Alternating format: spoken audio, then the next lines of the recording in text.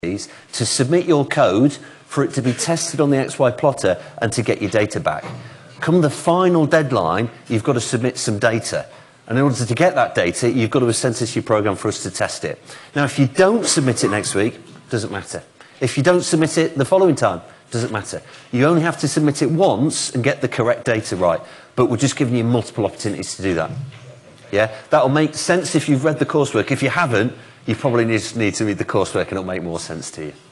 Good. Any other questions? Do you want the lights down a bit? Is that okay? Was that right? Can you see the board all right? Yeah? The other week you were really noisy. This week you're really, really quiet. You're really confusing me. Are you okay? Okay, so let's do a quick recap then of where we're up to. So last week you did the hands-on uh, DAQ lab, and this is really important, okay? Yes, you've sent out, you've uh, outputted an analog signal and read an analog signal, and you've read and written a digital input-output signal. Okay, it's not that much. Wow, you've achieved an amazing thing, right? You can control systems. Okay, now you've worked out the fundamental aspects of a digital input-output network, communication systems. How do these things work? You've got a little microphone, an analog signal. It uses an analog to digital converter, converts that into digital signals, yeah, which are just and ones, sends it across a bus. That bus then gets read and interpreted. You can do that now. You know the fundamentals of a digital communication system. You can do that. If you want to switch on the, uh, you know, the thrusters of the Spaceship X, you can do that now. It's all analog input, uh, output, it's all digital input output. You can do any of those things. You can control anything. You can integrate anything, okay? So that's a real important learning objectives that we have met. So what are we looking at this week, okay? Uh, group project reminders, we've covered that. We're going to look a bit of arrays. Um, and uh, that aspect of it, because we have a few videos on that, which is quite interesting. We'll see why arrays are important. We'll have a quick recap on clusters. Then we're going to look at self-assessment quiz engagements today, so how far you've all got with those. We'll have a bit of a review. We're going to do some MCQ exercises, so it's going to be interactive today rather than you me just talk at you all the way through and you get bored. We're going to do some questions and we're going to check our understanding to some fundamental things. We're also going to practice for the final examination, which is an MCQ examination. So we're going to get used to the style that we get for these MCQ questions. And at the end of it, if you've got them all right, fantastic, you're understanding the course. If you've not, still fantastic, you know that you've got to go away and do a bit of a recap and read stuff. So either way, whatever happens, don't worry about how you're doing. Just use that feedback to reflect and, and, and move forwards. We're then going to look at the uh, assessment criteria exercise and we're going to look at good programming practice. And this is also really important for your assessment because it's how your group project course, uh, coursework is going to be marked. Okay, good programming practice. Who's done text-based programming before? Yeah, so you all know about syntax, right? Syntax, when you write syntax, you put, put code online. And if you submit it to a forum, and you've met all of those good programming practices, people will help you. If you haven't, they'll troll you. Okay? So good programming practice is a really important element, and we'll look at why that is, is something we're going to do. So let's have a look at a little bit about arrays. Why do we use arrays? We use arrays because they enable us to store information. Okay? And it might be, in the case of the group project work, I've got a two-dimensional array, an x and a y, and the value in that just corresponds to an area. Or it might be, I've got a three-dimensional array, and that three-dimensional array, I'm going to take that 3D space, like this lecture theatre, I'm going to divide it up into lots of small little chunks, and I'm going to say, is something there or not? And how could we take those measurements? We could use a LiDAR. Yeah? So we could use the LiDAR, which takes a laser, it spins it round, does speed, distance, time measurements, it spins it round and also moves it up and down. So we get a three-dimensional map of the room in here. And why is that important? Well, this is a three-dimensional map, if I just play my video for you. This is a three-dimensional map that we took with a robot called MIRRAX in Sellafield in a room which is radioactive, which nobody's been in for 50 years. Okay? And this type of work that we do, working in partnership with, um, with, with Sellafield Limited, probably this has saved them about £5 million just to go in there. So we put a robot, access port, through a concrete wall, six inch port, robot that slides in in the tube, unfolds, navigates around. It's got a LiDAR on it that takes this point cloud measurements, and it's got also got some radiation detectors on it. So what we can do is we can overlay then, if we know what the position is, the radiation mapping with the position mapping. Why is this important? Because if we've got radiation, then if we've got to send a worker in there and we know where the radiation is, we can plan their trajectory of how to walk on the floor to minimize their exposure to the radiation. Okay? We understand what that radiation is, we can go in there, we can clean it up. We can go in there we can see what the obstructions are. Okay, so this is what, you know, an example of why we need arrays and why arrays can be useful and hopefully links to something important. So that's that. So what is an array then? Let's just talk about arrays. So array elements and dimensions. So the elements is data that makes the array. Okay, so here we can see a number of elements. We've got 100, 101, 102. These are called the elements of the array. And the dimension is the length or the height. This is just a one-dimensional array. And I know it's a one-dimensional array because here I can see just my control just allows me to change the number and that just sets which element that I'm looking at here. So because this is on zero, that means that this element here is element zero. If I put element two here, if I increase that to two, that means that next to it would be 102, because it would dis display the second element. So that's all it's doing when it's controlling that. And this is just a one-dimensional one. You can have two-dimensional ones. You can have three-dimensional ones. You can have four-dimensional ones. You can have many different elements. In fact, an array can have one or more dimensions and as many as 2 to the power 31 minus 1 um, dimensions. Now, 1D, 2D, 3D makes sense. 4D you can just get about get your head around. If somebody can explain to me a five-dimensional array, that, that would be really helpful because it's quite difficult to conceptualize. But you can have these arrays with multiple um, uh, dimensionality. So consider using arrays when you look, uh, you work and with a collection of similar data and you want to perform repetitive computations. This is what a two-dimensional, uh, sorry, this is a one-dimensional array again, but we've changed the order. Rather than looking at it as a column, we're looking at it as a row, and we can see this is our index terminal that we have here. So the element is at index 0, uh, is not shown in this image. So here we're just looking at this element, and this element that we can see here is element 1 because I've got a 1 there. Hello? Is that limit for like how many dimensions of an array you can have? Is that like the limit on LabVIEW or like mathematically? So that, so it's 2 to the power, what was I say, 2 to the power 32 minus 1. That's because it's a 32-bit representation. So that's the number of elements that you can have. So that's, that's just based on the fact that it's 32 bits is the biggest one. Yeah. Yeah, so if you do 2 to the power 32, it's some crazy large number. And, and I, I don't think I've ever used anything more than a 3D array. Depends what you're doing, right? The I'm sure there are some really interesting applications where you need great dimensionality. Yeah. Okay, good. Um, so yeah, so this is an example of also of, of a one-dimensional array um, that we can see here. Let's look at LabVIEW then. So let's look at something a little bit more interesting. Let's look at some LabVIEW code and let's look at a two-dimensional array. let's go to LabVIEW.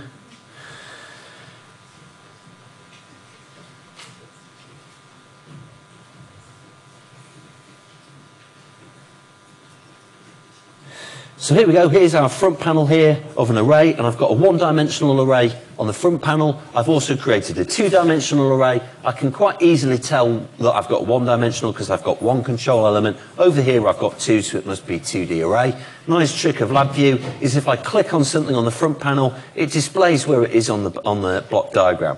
So here I can see this is my two-dimensional array that I've got here with X and Y's, and inside uh, a loop here, I've got my one-dimensional array. Can anybody tell me what this program is doing? What's this program doing? Tell me, sir.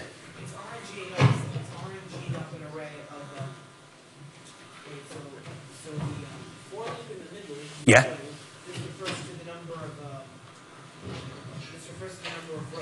This Okay, yeah. So, so what it's doing is it's creating a two-dimensional array. And the way this, this is called something called nested loops. So when you have one loop inside another loop, and here we've got two for loops with one loop inside a, uh, another loop. The inside loop is going to create a number of values and put them into an array, and it's going to repeat that several times. Um, it's going to do that five times, And then the outer loop is going to iterate. So the inside one's going to run five times before the outside loop iterates, and then the inside loop's going to um, run five more times. And I know the dimensionality of my array is going to be a square array because my two values of n, wide to them are five. So it's going to give me a five by five array. And I've also put something else in the loop that's going to help us. And this is a timing function. And this means, remember that when I wire something here, it's the number of milliseconds to, to wait.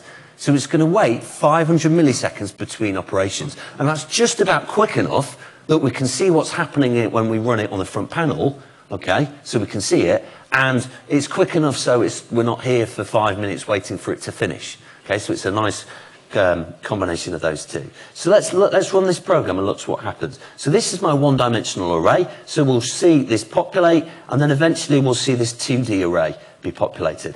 When will this 2D array be populated. So we'll see what's happening on the internal one, but this one over here, when, when's the data all going to come, come to us there? Is that going to come to us each time the outside loop finishes? At the very end. At the very end, yeah. Data can't come out of the loop until the loop is finished. Okay? So that data where we've got a little parentheses here, that data is not going to come out of the loop until that loop is finished. And let's have a quick look. This is good for looking at data representation. Really thin orange wire is a single value. A thicker orange wire is an array. And a, a double, uh, wire, a double wire, two lines, is, is a multi-dimensional array. Okay? If it was a 3D array, it'd still be two wires. Okay? Yeah, but it just means multiple dimensions. So let's run this VI and see what happens then. So it's starting to run. Look, there's the first lot of data in the first array, and if you watch in a second, this should change. So the numbers in that are changing. So that data is only coming out each time that loop finishes, and it moves on to the next iteration, the large one. And when it finishes, all of those values come in here. And if we compare these numbers, the first one is 0.729. I can see the bottom one over here, 0.729, 0.393, 0.393. So you can see this one-dimensional column here is actually a row in my two-dimensional array. Okay, so a simple little bit of um, uh, LabVIEW code to create a two-dimensional array. Uh, why am I going through this with you? It's important to recap arrays, but actually arrays and two-dimensional arrays are going to be important for you for the group project. Okay, so some fundamental things to pull out from that. Let's go back to our slides because we've got quite a bit to go through. And next up is our clusters. So let's have a recap of clusters then. Hello. Tell me. question about the uh. Okay, tell me. Um, so why is it that the, the latest uh, set of numbers show up at the top of the two-dimensional array? Like, is there a sequencing that happens, and or can we change it so that the very first set of numbers in the 1D array can be sent to the top or the first row? So, so the way it populates, you mean? So it's the way this. So what's happening with the little the little tunnel with the parentheses? It's storing those values up. So the first time you've seen the 1D array, that's because all the values have been stored at that tunnel, and then the loop finishes, and those five values have come out, and they're stored in that array. On the right-hand side there, it stores those up and then it puts it into a two-dimensional array. If you want to change the order that that's mapped in, you've probably got to do that at a lower level. And to do that at a lower level, you could have an array function and you could have, it's called insert into array, and you could tell it which, uh, what the location was in terms of the row and the column. So you could set that up programmatically to put it however you want. You can also do array functions with this, so you can take the transpose of the array and move it around.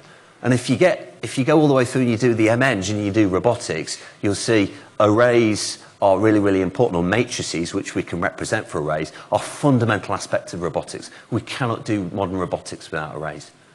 Yeah? So it's, that's just the default, but you could set it up to do it however you want it. Okay, cool. Let's have a look at, let's have a look at clusters then. I'll put these on Blackboard for, I think they're already on Blackboard for you so you can have a look at them. So this is a cluster. Why do we use a cluster? Well, we use a cluster because, and I know this is a cluster, because it's a solid, uh, uh, thick line with dots on it. Okay, this is pink, which means it's got data in it. You'll see other ones that are yellow and various else. Okay, so here we can see that, that a, a brown one means that it's time-dimensional data. So I've created a cluster here. Why do I use a cluster? Because it lets put, me put multiple types of data of different types in a single wire.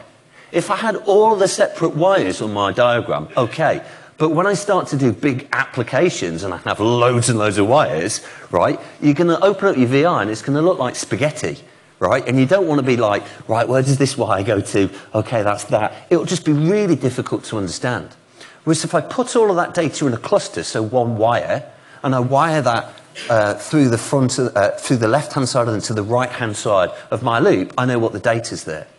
And actually, if I'm doing something like a, uh, a while loop, and I use a shift register, then I could store all of my data in a cluster, and then each time the loop executes, I could decide which data I want to use and which data I want to put into it. So it's a really powerful way of storing data and accessing data to make it nice and neat and easy to see and easy to understand and program with. So it's called a cluster.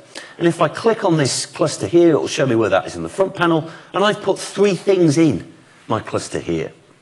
Okay, I've put this thing here called name, which is a string. I've put this thing in here, which is graduated, which is a boolean, and I've put this thing in here, which is a numeric, and it's age. Okay, so I can store three pieces of information uh, there. And then inside my loop, all I'm doing here, this is just an example, I've set it up to run every 100 milliseconds. All I've done is I've used this function over here, which is called unbundle by name. There's unbundle and unbundle by name. I always use unbundle by name because I can select what it is that I want to do by the name that I've given it on the front panel. So here I've said name, but if I left click on it with my, with my uh, little button here, I can change it to something else. I can say age. You'll see that my wire changes to a cross because my indicator name is string and my data type is now age, which is a double precision, so the data types don't match. Okay? But you could pull anything that you wanted out of here. And if I drag on the bottom over here, I can drag it down and I can select different ones for different things. Why is that powerful? Well, if you have, I'll come to you a second. If I had a cluster and I had, say, I don't know, a thousand different pieces of data in it, I could set up my loop and I could just select the ones that I wanted. And I could select something that was an array, because you can put an array in a cluster. I could pick up something which was just one Boolean value or one numeric. Okay, so really powerful. Go on, you had a question, sir. Um, didn't you just use one of those, uh, one of those nifty little function things inside the, the functions palette for the block diagram if you wanted to convert age to a string? If, yeah, yeah, if you wanted to convert something, yeah, you could do that, but the, uh, so yeah, you could convert it to a string, but that would, I don't know what that would do actually. Would that just tell, would that convert what is a numeric into a string? I'd have to try that. Yeah, but you could do that. You can change data types programmatically, so you can change things, but it, but I don't know what it would do that for number and a string. I'll have to try that one. Uh, similarly, so that's an example of taking something out of my cluster and looking at what it looks like. What we're doing over here is we're changing something inside the cluster. So here, I'm using bundle by name.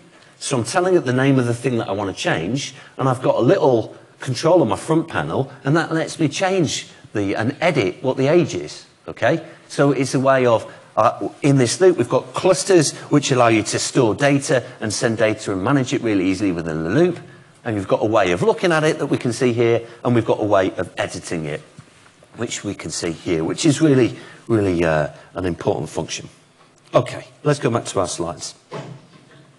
So clusters recap, we've been through this. We've just had a look at that.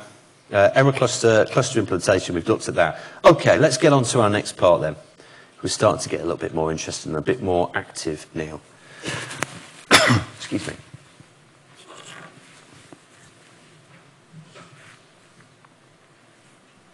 So, each week I've been giving you a little MCQ quiz and asking you to engage with it. How have we engaged so far? Okay, so a little bit of room for improvement. When I was changing my slides, okay, from last year it was actually 2% for week four in my lecture last year. That isn't a surprise because some of you are probably thinking, why would I do the quiz before I've done the lecture? I'll wait till the lecture's done. Cool, makes sense to me. So don't worry about the week four. The week one and the week two things are a little bit more worrying. Not so much for me, but I think for you guys. Because you're about to start your group project. We're building every week on what we're doing. So by every week you're not doing this, you're getting further and further behind. Okay? These things are there to help you. Um, I, could, I could plot a graph and show you, I've got it somewhere, of engagement with these and, and overall mark in the, uh, in the examination. And probably I, if I pulled out the data, I could pull out the data which shows when people engaged with it and how they did.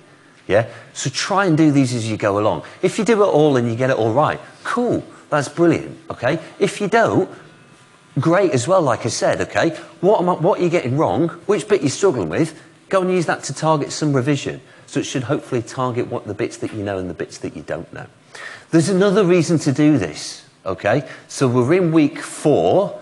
At the end of next week, okay, I'm going to do a little uh, raffle and I'm going to look for people who have engaged with them the most, and that's going to be the people who have done them all. And then I'm going to select a subset of them, 15 people, and you're all going to get a little treat. Okay? Now, I think you'll like the treat. I don't know. But last year, the students really liked the treat. Okay? So I, I really hope that you're going to engage with it, and, and, and I'll, I'll pull it out next week with what you can see. Tell me. Can I ask about the aggregation for some reason? Can you ask about what, sorry? The aggregation, because for some reason the marks that are saved on the my marks aren't the latest attempt. They're the first. That's, yeah, that's because I, I stole the first attempt. If I stole the latest attempt, then I would hope by the end of that you've done it that you're all getting it all right. But by storing the first attempt, because it, it doesn't count for any credit, right? But what it is for me, useful for me, is to see how you're doing the first time you do it, and for me to understand how you've done and what I want to recap to cover for you. So that, that's, that's just for me. Wait, so wait, so I can redo them again and again and again in order to improve my score so I can understand them. Yeah, you can, and you'll get those scores, but the score that's displayed, to me, will just be the first one that you submitted. This doesn't affect my credit, does it? No, no, there's no credit assigned to these at all. Yeah, so it's not credit bearing. Okay, so, excuse me. I thought it might be a good idea for us to do a few MCQ questions. So now we're going to do a few MCQ questions. You are going to need your phone or your laptop or some other electronic device to look at this. Let me unblank that. We're going to do a bit of Mentimeter. So let's get started. To join Mentimeter, it's going to generate a code. So if you go to menti.com and the code is 74472717. Cool, lots of thumbs up. That means people are joining. I'll read that out for you again. The code is 74472717. I'll just wait for that number to stabilise. How are we doing on time? Okay, we're doing okay on time. 118, 119. Excuse me. Right, that number looks as though it's stabilising. So let's have a, let's have a go at these. I, I don't mind if you want to discuss it with the person next to you, but when we come back and we go on to the next question and I feedback what the right answer is, I really appreciate it if you keep the noise down so everybody can hear me. Okay? That'd be great. So, first question is as follows. Away we go.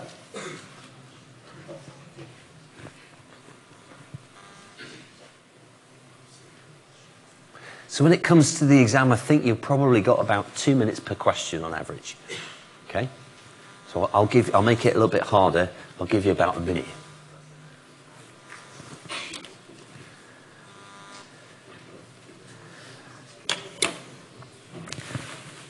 Excuse me.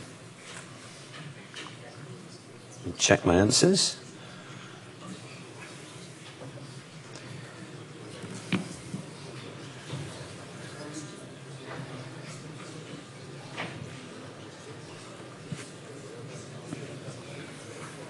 Okay, last few seconds to vote.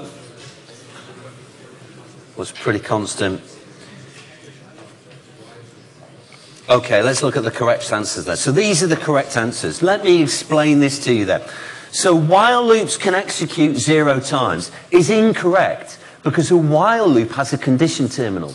and the loop has to execute to say what value is wired to my condition terminal. If it's true, it'll stop straight away, but it's executed once. Okay? While loops must, must execute at least once is the correct answer. While loops have a conditional terminal is the correct answer. While loops can theoretically run infinitely is also the correct answer because we've got our stop button and it's going to keep going for as long as we want until we press that stop button. Okay, so those, that's an example of a multiple choice question similar to what I would ask you in the exam. Let's do the next question then.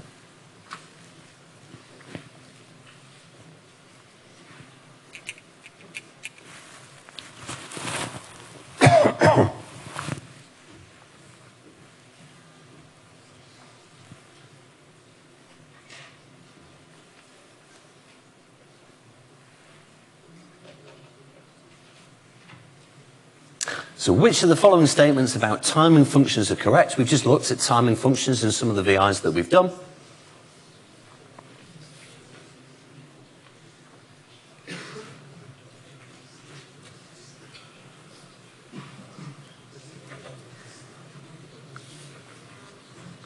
It's looking fairly static. Okay, let's have a look at the answer to that then. So, a wait function inside a loop allows the VI to sleep for a set amount of time is correct. Okay, one of the reasons why we like adding the timing functions is it tells the, gives the processor enough time that it knows what it's got to do with other resources. Okay, so it allow, allows the computer to manage its overhead. Timing functions control the frequency that the loop executes. That's true. So if you want to do high-speed data acquisition, you need to set the timing for that loop, and it's just one over the sample time. Okay, so if you set the loop to run um, one once per second, one over that is one hertz. Okay, so your frequency of your loop is one hertz. Tell me. If we set the like wait loop to be something really small, like one millisecond, Okay. and the VI can't actually run that fast, surely then that doesn't actually control the frequency. Absolutely. It depends on the system that you've got.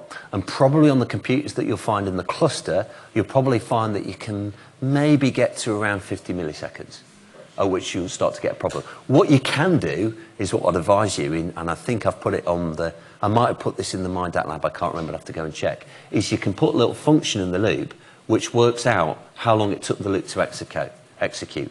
So you can say, hey, I'm setting it to 50 milliseconds, and when it finishes, you can look long and say, well, how long did it actually take? So you've, you've asked a really, really good question. How do I get a high-speed uh, loop? What you need to do is you need to use a real-time operating system. And what that is, that's not a computer which has uh, where the, the priorities when I put Facebook on or decide to watch a movie, that it will slow it down because it's doing other things. But a real-time operating system will have a dedicated piece of hardware and a dedicated operating system and allow you to do really high-speed data acquisition. Yeah, and that data acquisition might be gigahertz.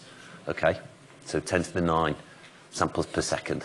So pretty, pretty quick stuff, which is really important for applications of when you're trying to control the, the plasma in a nuclear fusion reactor, which is what they use for with the PXI system down in Culham. So yeah, really good question. Um, Next part, timing functions provide the processor with the time to complete other tasks is correct. Timing functions should not be used inside case structures. Okay? Any questions?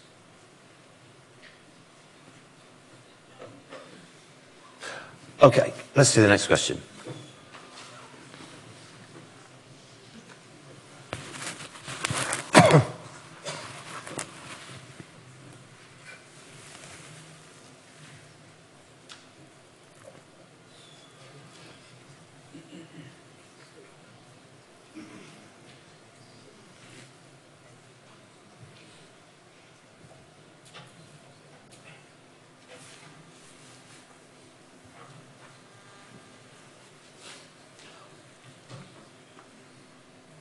So which of the following statements about ADCs, analog to digital converters, and digital to analog converters, DACs, are correct?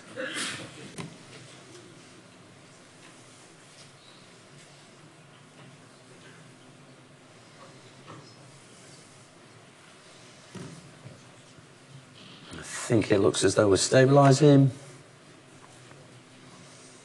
Okay, last couple of seconds. Vote now. So, correct answers. DI, DACs are optimised for resolution and sampling rate. Is incorrect, they're usually optimised for one or the other. Uh, ADCs, so analog to digital converters, are needed for DAQ systems that use personal computers. Yes, absolutely. Computers are digital systems. Okay, so we've got to we've got to change our analog signals, okay, into digital signals for them to be processed by a computer. An analog signal which is passed to an ADC and then to a DAC will be unaltered in comparison to the original signal. No, that isn't true. If you imagine I've got a continuous waveform and then I digitize it. If I digitize it, that means I don't have an infinite resolution anymore. It means that representation is going to be a little bit square-like, okay, when I go into the continuous time. Then I make a digital signal of that with noughts and ones. And then what we're saying with a digital analog converter is I'm taking my digital signal out and I'm forming it now into an analog signal. Well, if you've already made your signal quantized, when you go back and you try and make it into a lovely smooth analog uh, signal, you won't do it. You'll still get a digitized signal. So you do lose resolution and accuracy if you do a uh, analog to digital conversion and then a, uh, a digital to analog conversion and back. Okay, so that's why that's not true. And the last one, ADCs are optimized for either resolution or sampling rate. rate. Is, is correct. They are optimized for one or the other. Let's do the next question. So, which of the following statements are correct regarding arrays? Just looked at arrays. More than one answer may be correct.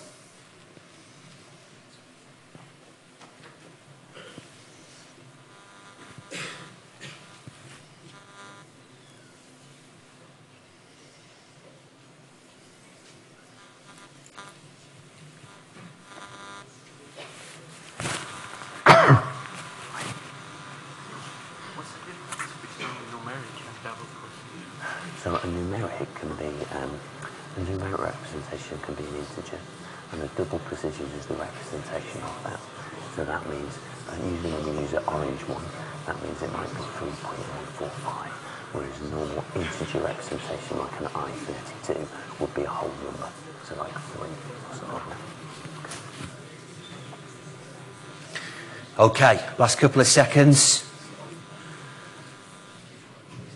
Looks like everybody's voted. Let's look at the results then. So, you can create an array of arrays. Is incorrect. You cannot have an array of arrays. You can have multi-dimensional arrays, but you can't have an array of arrays. You can have an array with more than three dimensions. Yes, you can have arrays up to, what was it? Uh, 2 to the power 32 minus 1 dimensionality. I don't know what that looks like, but you can have that much dimensionality. It is possible to have a 2D array of string data types. It's correct. You can have an array of Boolean values, trues or falses, noughts and ones, whatever you want to think about it. You can have an array of strings. You can have an array of double precisions. You can have different types of arrays of different data types. The first element in an array is indexed at zero. Yes, it's zero indexed. Okay, so the very first, if you imagine a two-dimensional array, the top left element is element zero, zero. Everything's zero indexed in, in LabVIEW. When a loop starts, the first iteration is loop zero, not loop one. Good. So we're doing all right with these. Excellent. Which of the following statements about arrays and clusters are correct? Uh, We've just done that one, excuse me, haven't we? Clusters can... Oh, no, no, no, arrays and clusters. No, let's do this one.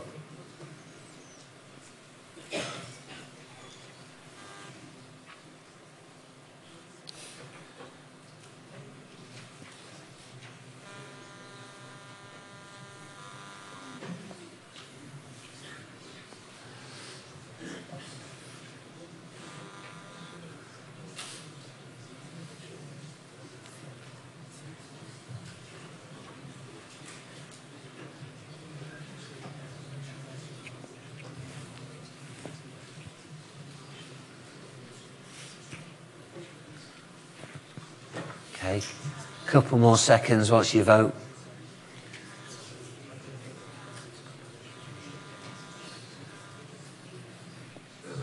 Okay, let's look at the answers then. So, arrays do not have to be a fixed size.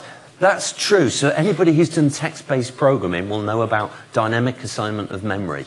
Okay, so just you can dynamically assign the size of something. So what that means is you set aside a certain amount of memory and it will know how big that array is. So it'll just store data in it. You don't have to tell it it's of a certain size. Okay? You cannot have an array of arrays, is correct. A cluster cannot contain Boolean data, is incorrect. A cluster can contain any data type. You can put multiple arrays in a cluster if you want. You can put Booleans, you can put strings, you could put an array of Booleans and an array of strings. Clusters can contain more than one data type. Is true, we've already seen in the example, we can put multiple types of data in a, a cluster. Now, we've got one more question to do. But when we finish the quiz, okay, if you put your email address in, it will email your results to you about how you did in the quiz. And please use those questions and, and think about, hey, I aced it, all's good, or what's this LabVIEW about? I might need to go and have a look at the resources. Okay, so use them to help you. We're going to do something slightly different now. We're going to move on and we're going to look at assessment criteria exercise. So we're going to look at good programming practice. Okay, good programming practice. And the activity is going to go as follows. Uh, we pro we'll probably do more like seven minutes, I think. So we're going to spec a VI that I'm going to put on the board, and I want you to list the poor block diagram layout and functionality. So I'm going to ask you to think for a few minutes. I want you to make some notes about what you think the poor programming practice is, and then we're going to go back to Mentimeter, and I want you to enter what you think is the poor programming practice.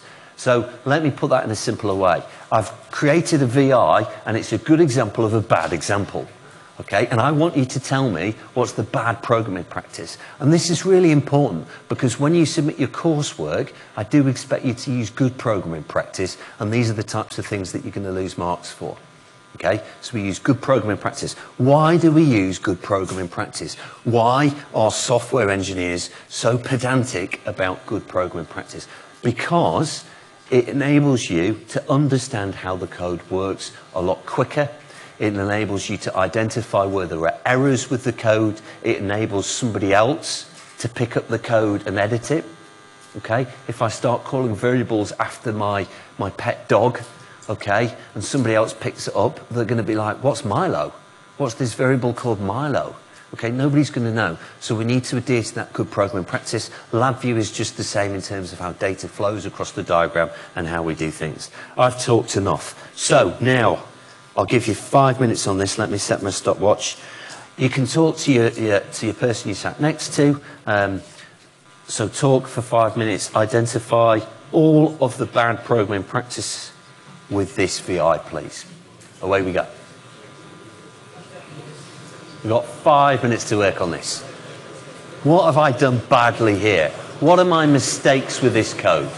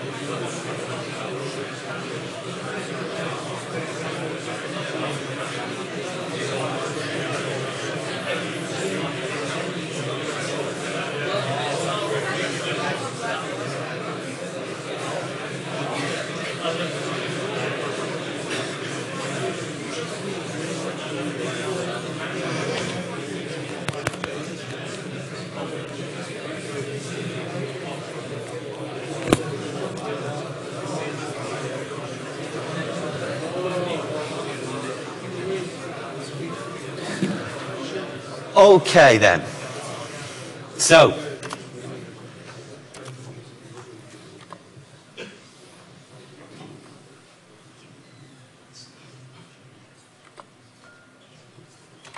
Let's have, a, let's have a go then. Let's go back to Menti.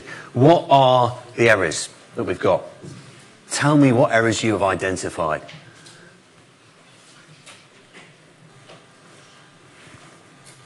Lack of labels, yes, good. Number one, okay, there's no commenting. Okay? Doesn't matter quite so much for a small program like this because you can work out what's going on. But when it becomes a really large programming, you do expect to see some commenting. It should be neat, it should be clear, and it should be concise.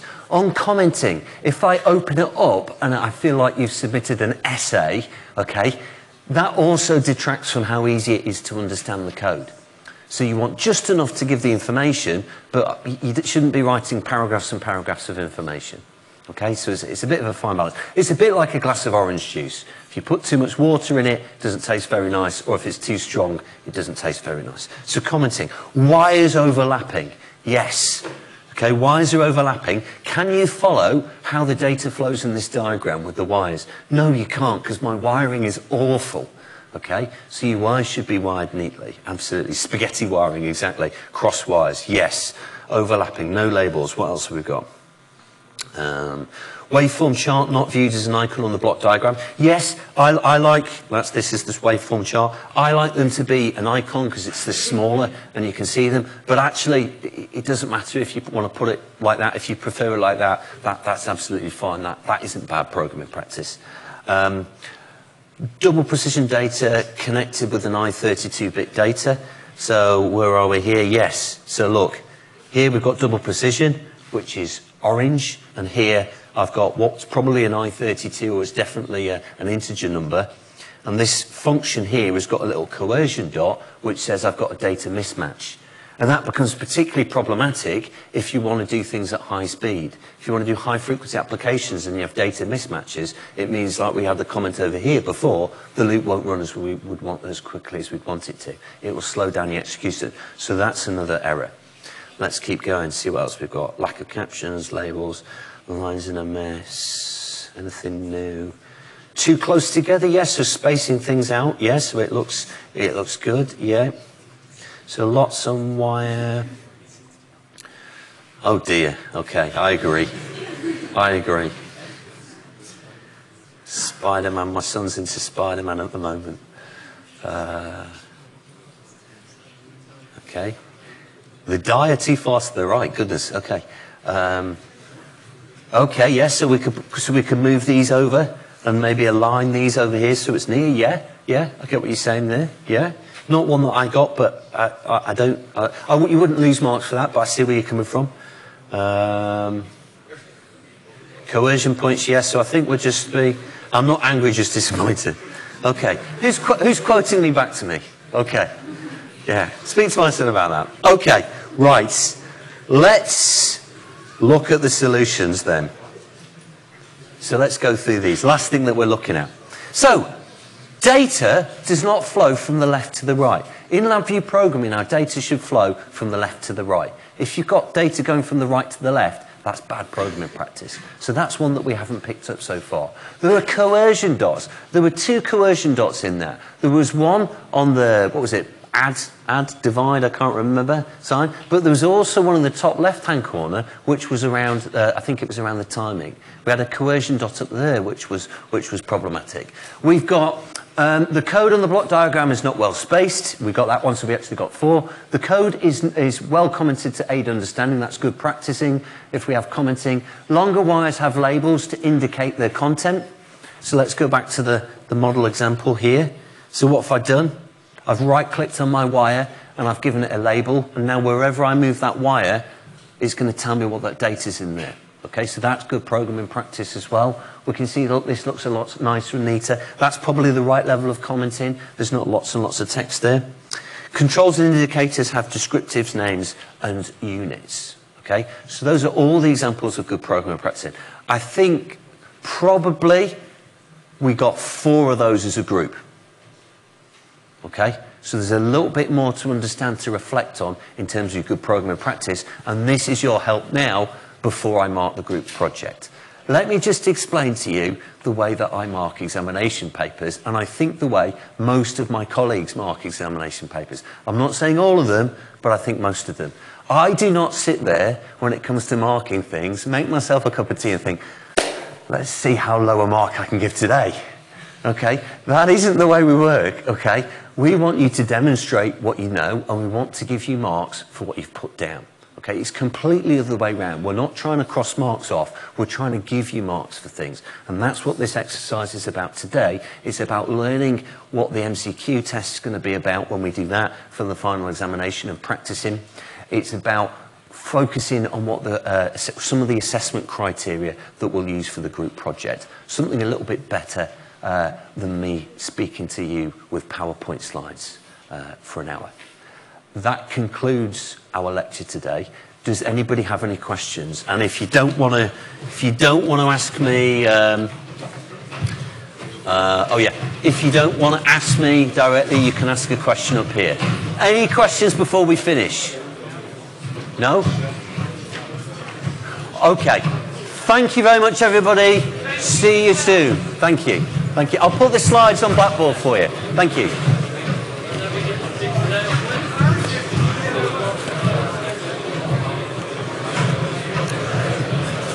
Hello. That's okay, you're not bothering me. Tell me. Okay, so last week, um, I remember we have a session, right? Yeah, yeah. When we actually, me and my groupmates, we actually pretended to it. But yesterday, my friend told me there was a quiz that should be done during the laboratory session. Okay, so you missed- you missed the quiz? Okay. Okay. So how, should we do? We actually did everything we need. Okay, so I, I will check. I, I'm just going through the results at the moment. And those people who have not completed it, I will contact and we'll have a discussion. So we'll have a bit of a chat about it. Okay, so what about the register? Don't, don't, don't worry about don't worry about the credit now. I'm not saying you won't get any, but what I will do is I just need to meet with you and check that you've done the lab. So once I've checked the lab, if you missed it, fine. It's okay. So long as I am confident that you've done the lab. Okay, okay so don't, don't worry about it. Okay, all right. No, no, my pleasure. No worries. See you later. Thank you. Oh yeah, how you doing? Tell me. It has to do about like summer internships. Some internships. Yeah, yeah, as in like I know that the department has its own set of uh, projects that they have uh, sort of published on the website. Yeah. Uh, but I just wanted to uh, ask if there are any. So I, yeah, I, I do. I've got multiple projects at the moment that are ongoing. I don't know quite what the rules are in terms of whether I'm allowed to offer them outside the department. But if you want to get involved in a little bit, really happy to have you on board. So um, yeah, because Yeah. I saw your work on Yeah, yeah. rehabilitation Yeah, yeah, yeah, the biomechanics. So remind me later on towards the summer and think about when you're going to be available, and then I can plan stuff. And if you want to get involved, I'd love for you to be involved. Uh, sure. Okay. Thank you so Okay, much. what's your name? Are you? How do I spell that? E R Y A. A R Y. Oh yeah, okay. Yeah, you've emailed me, right? Uh, You, or, or you've put something on the blackboard. oh yeah, Discuss yeah. I, yeah, I have. I, reckon, I yeah, missed yeah. my lab session Yeah. actually. Okay, yeah, that's what it was. I remember. I recognise your name. Yeah, yeah, yeah, Cool. but I mean, I'm hoping to make the next one. Okay. So I think. Okay, cool. Yeah. Okay. Thank you so much. Thanks. Ross. See you. Take care. Oh yeah. How are we doing? Hi. Eh, I have two questions about the coursework, right? Okay, We tell me. Good. Yeah, yeah we've met you've with looked at it. team. Excellent. Yeah, we've met already with the team. We s- sat down, started to assign Awesome. some tasks and all. Great.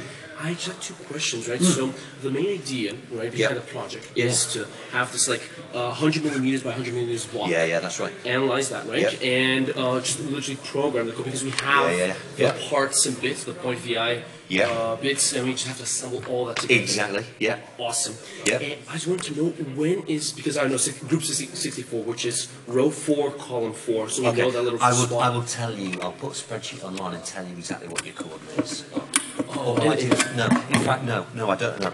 I'm, I'm, I'm mis, miscommunicating and misremembering what I did last year. All you need to remember is that you're Group 64. And then you need to do everything so that I think, I'll have to check the coursework, but I think if it, you've got a square, yeah? I think I've said the bottom left square is zero, zero.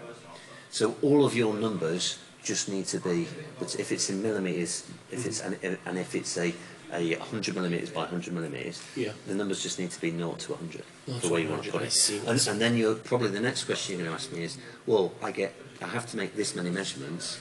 How do I do that? Yeah.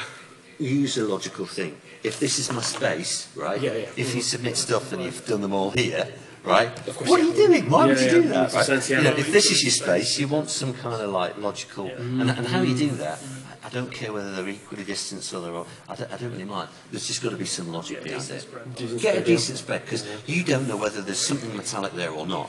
Okay, ah, and, and what you know is imagine this let's be like yeah, it's a heat map. Yeah, you want a heat map and you want to try and cover the whole area. I see. But So you can't that- get everything. You're going to you have can't- The, dead, the dead zones. Ex- exactly. Yeah, yeah, yeah. So try and optimize it, but don't, don't. You know, I've seen people go, ah, I run this program to get the exact, the best on.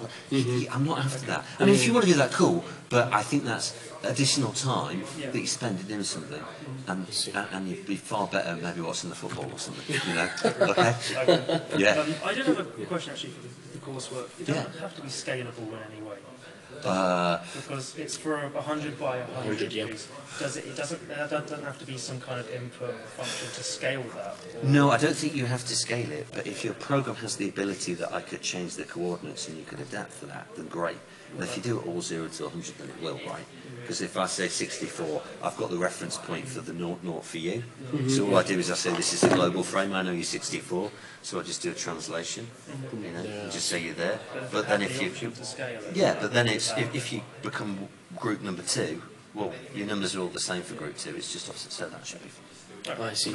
That should be good. Yeah. Happy? Thank you so much. No, yeah. it's my pleasure. Yeah. Was that useful? Yes. Oh, Yeah, that- yeah, yeah, that was yeah. good. We're gonna sit down again and just talk as a group. And we'll s- Awesome. Yeah, brilliant. Thank See you. you guys. Hiya. Quick question. Yeah. Was, um, for the final exam, Yeah. can multiple answers be correct, like in the weekly quizzes? Yeah.